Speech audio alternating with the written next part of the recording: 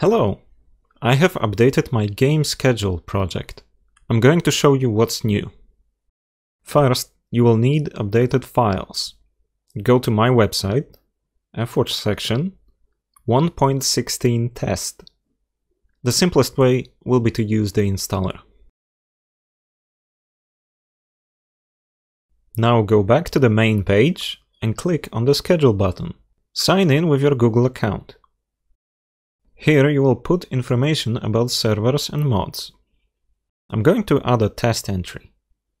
There's a bunch of different fields to fill in, but only a name and address is required. Next, I schedule a new session. It's set to start right now.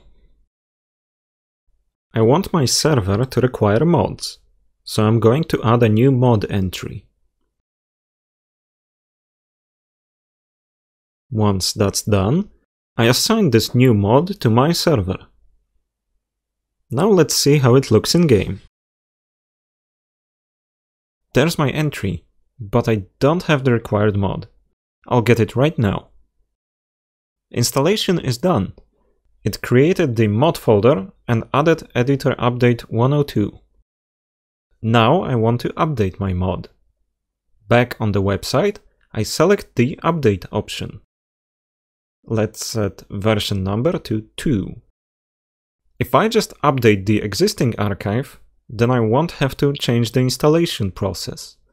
But in this case, I have a second URL, so I add a new installation script. I write instructions to delete the current add-on and get a new one. I'm going to test it in-game. Editor 102 has been replaced with Editor 103. The update process goes sequentially, so from 0 to 1, from 1 to 2. However, it's possible to write a jump so that new users won't have to download the obsolete file. I go to the jump section and set a condition. If user's version is older than version 2, then just jump straight to editor 103.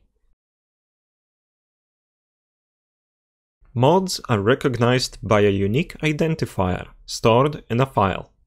If you happen to have the required mod folder without this ID, then the game will ask you whether you want to tag it. Downloading a new copy is a safer option, but in this case, I know I have exactly the right mod, so I choose Assign. You can rename mod folders however you like, and you will still connect to the server with the right ones. If a server requires equal mods, then the program will automatically rename folders, so that you can connect.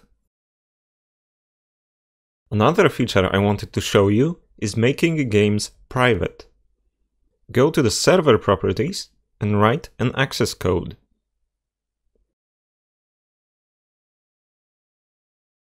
Now my server has disappeared from the list.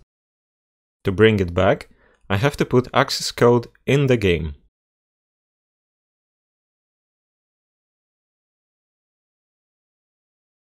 There it is. Lastly, you can collaborate with other users by sharing your entries on the website.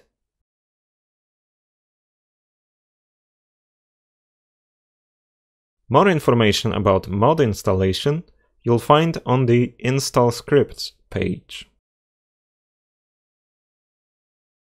I asked Rożek to make his server available for testing this system.